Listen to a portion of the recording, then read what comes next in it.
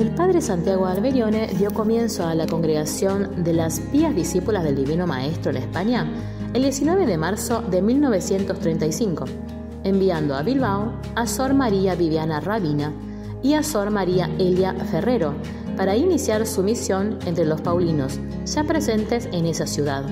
Con mucho más entusiasmo y fe que medios económicos, las hermanas dieron inicio a su misión comenzaron al estilo evangélico, con mucha sencillez y pobreza, típico de todas las fundaciones paulinas. Se dedican a la adoración eucarística y al servicio de atención a los paulinos, sacerdotes y primeros aspirantes.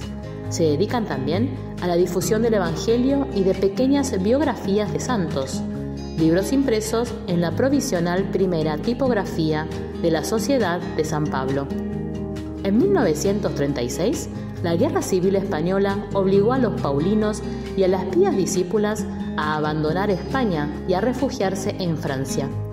En estas circunstancias turbulentas, Sor María Agostina Mesa quedó sola en San Sebastián, donde se encontraba por motivos de apostolado. En lugar de buscar un refugio seguro, pensó en los jóvenes y sacerdotes del vocacionario paulino de Bilbao. ¿Cómo se encontrarían ellos? ¿Les faltaría quizás lo necesario para alimentarse? Y así, Agostina se dirigió a Bilbao en un camión de violentos activistas. Iba vestida de seglar y orando constantemente eyaculatorias secretas por sus compañeros de viaje, que lanzaban amenazas y blasfemias a su paso por las iglesias. Tiempo después, a causa de la agitación política tan extrema, tuvo que marchar a Francia, así como los jóvenes de Bilbao, acompañados por el sacerdote paulino Desiderio Costa. En noviembre de 1938, las hermanas pudieron regresar felizmente a España por solicitud del fundador, quien deseaba siempre la presencia de estas lámparas encendidas ante el sagrario entre los sacerdotes y discípulos paulinos. En 1943, las pías discípulas comenzaron a organizar su propia comunidad en la calle Dolareche, en el barrio de Masustegui, cerca de la Basílica de Begoña, bajo el amparo de María. Sor María Sabina Boni y Sor María del Sagrado Corazón Carrara iniciaron esta nueva fundación y el 2 de febrero de 1944 llegó la primera aspirante española, Doradía García, a la que inmediatamente se unirían muchas otras jóvenes. Hizo la primera profesión en 1951 y recibió el nombre de Sor María Inmaculada.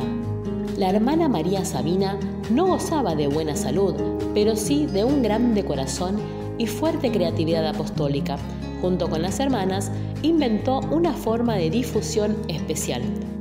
Buscar colaboradores que se unieran a la adoración eucarística, y también por medio de ofertas para sostener la adoración con el Santísimo expuesto solemnemente en la comunidad.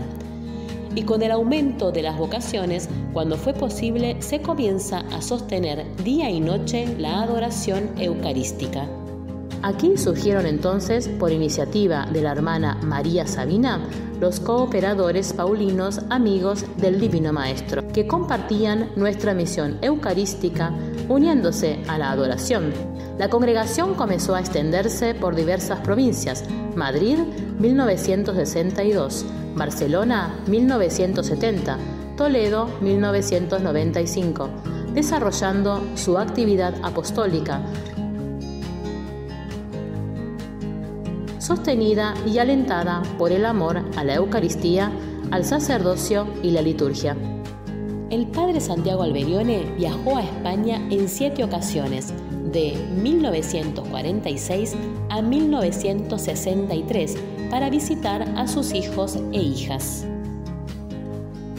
Damos gracias al Señor por las abundantes riquezas de gracias que ha vertido en todas las hermanas, en la Iglesia y en la sociedad española por medio de nuestra presencia y misión.